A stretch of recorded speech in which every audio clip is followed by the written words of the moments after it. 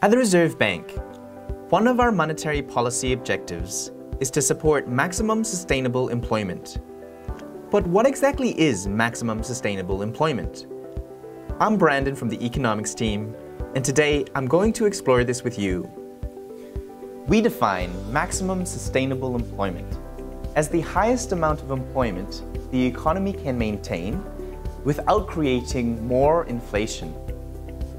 In a nutshell, this means we want to support healthy and resilient job markets for the benefit of all New Zealanders and all our amazing Kiwi businesses. So what exactly does a healthy job market look like? Well, there are many things we look at.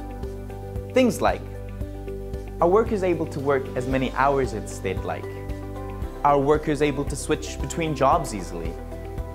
And are businesses able to find the employees they're looking for? What we're looking for is evidence that the job market is in a sweet spot. We want workers and employers to be able to find each other easily. If Kiwis struggle to find businesses to employ them, that's a sign the job market is too cold. We don't want that. We also don't want the job market to be too hot, with employers struggling to find employees. What we do want is a job market that's just right.